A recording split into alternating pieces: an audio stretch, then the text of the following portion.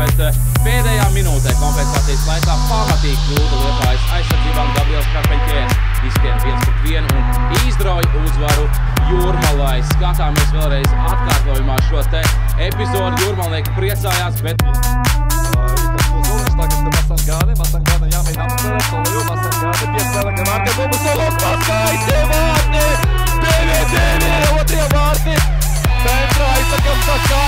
Piespēlē kā pasaules labākais uzbrucējs šajā epizodē. Pataru, Ivaņevs centrēs sodlaukumā, spiediens sodlaukumā, Eistens bija aizķēries priekšā, tagad viņš atgriežas savā vietā pie standarta situācijas. Igaunieks centrējums, Igaunieks centrē un šeit Keitā